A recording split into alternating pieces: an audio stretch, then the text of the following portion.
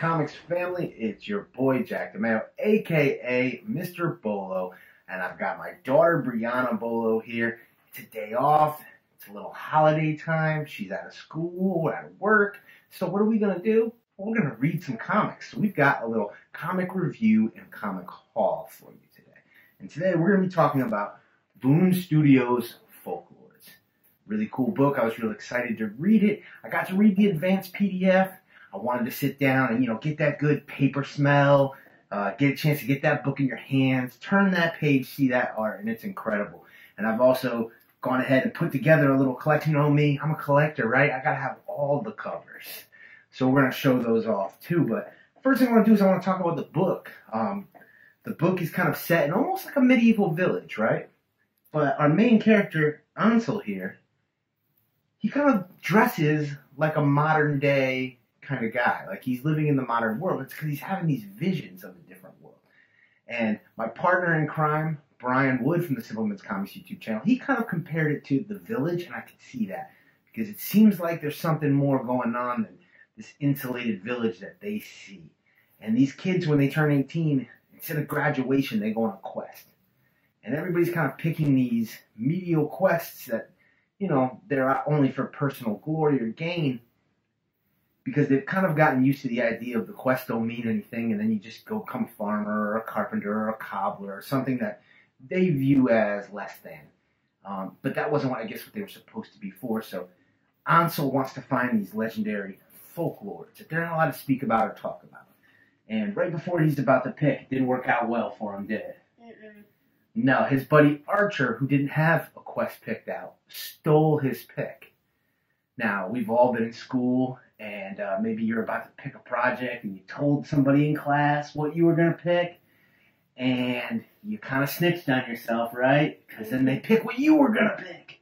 And that's the worst. So this happened at his the biggest moment. But of course, when that happens, you know, the towns, the people, the librarians who run the school, they're not real happy by that. And these librarians, they're these kind of cloaked people you see on the cover. And um, a lot of mystery behind them.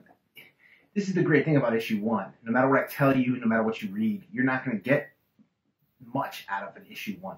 And I like that about my comics. I don't want you to give me the whole story. I don't want to feel like I, I, I read or watched an entire episode in one issue.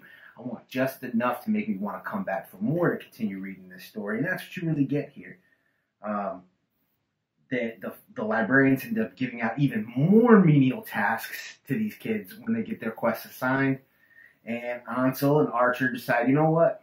We're going to do our thing and we're going to look for these folklords because I think there's a world out there bigger than what we see.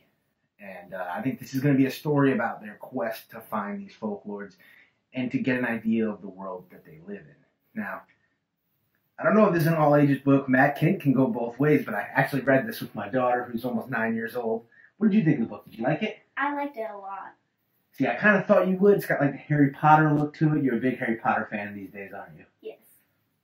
So um, this was a good one we read together. We'll try issue two and see uh, how how all ages Matt Kindt is going to keep this. I'm I'm a liberal dad, so we'll see how that goes. But um, but right now, what I want to do is I want to show off some of the awesome covers for this book because I know you cover collectors out there. That's what you care about. So this is cover A.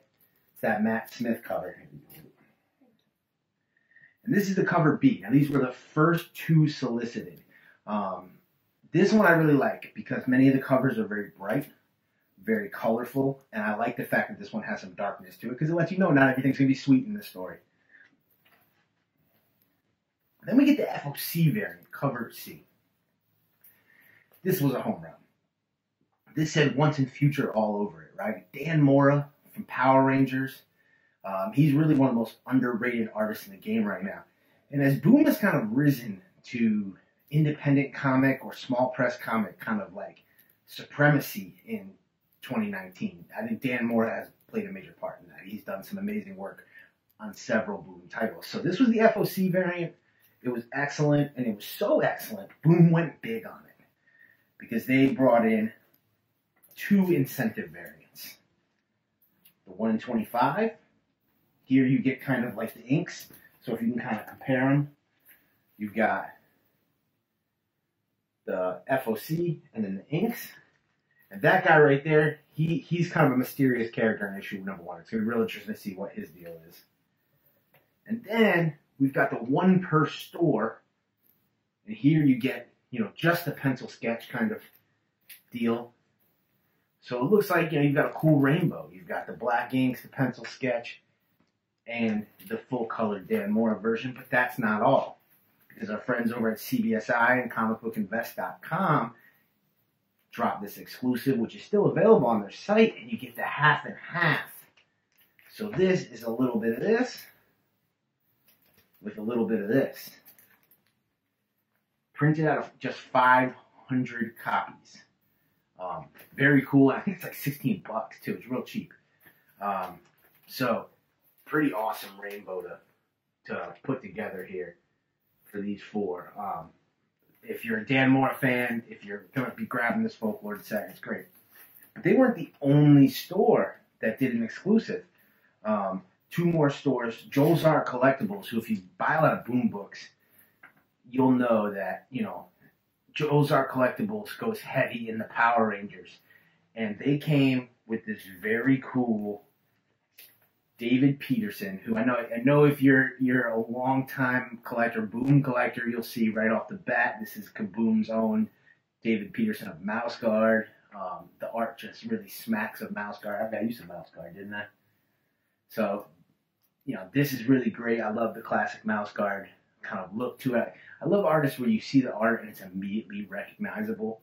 And uh, that's what you get here with this cover. So Joel's Art Collectibles, they've got this one. You can find this one. I think they sell this one on their eBay store. Um, they may have a web store as well, but it's definitely on their eBay store. And finally, this one, man, this one, this one, I, I'm hype about for a few reasons. Number one, this is from my good friends over at Black Cape Collectibles. Black Cape Collectibles is doing a heck of a job promoting independent comics. They're doing some awesome indie exclusives with IDW, with Source Point Press, with Mad Cave Studios, and now with Boom Studios with this uh, Folklords number one. But that's not all. You guys know if you've been watching the channel, we love Canto, don't we? Mm-hmm. We love Canto. And this is done by the Canto artist, Drew Zucker. I don't even think I told you that, did I? So this is done by the, the same artist who draws Canto. And I also love the librarians because they're so ominous and such a kind of a big part in this first issue. I think they're going to be a big part throughout. Um, mysterious in their cloaks, we, we still don't know enough about them. But um, yeah, this is this is an awesome variant. Drew Zucker. I think there's a 300 print run on this one. It's got a uh, buy price of I think $25.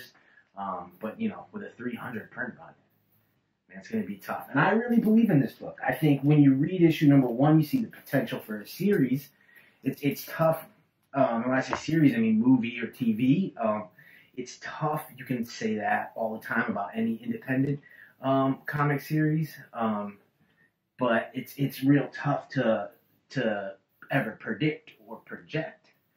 But it's one of those things where um, you get the feeling of I say Harry Potter because you get that kind of kid in a, a school um, kind of set in a certain era. Um, I get the village because there's that aspect of they don't know what's beyond their walls.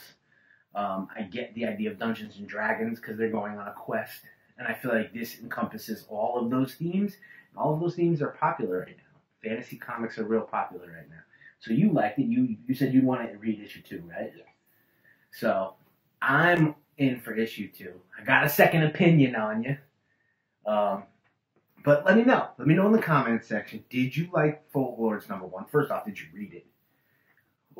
Are is this something that you're interested in? Folklords number one. The second print just hit shelves this week, but I think it's going to be a tough find. That second print is going to be low printed, so be on the lookout for that third print.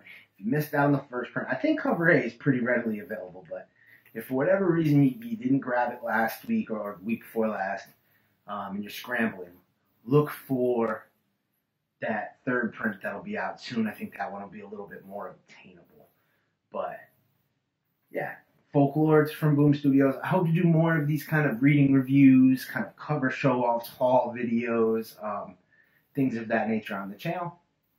Um, but yeah, I'm Jack DeMeo, aka Mr. Bolo, I'm Brianna Bolo. and this is another Simpleman's Comics video.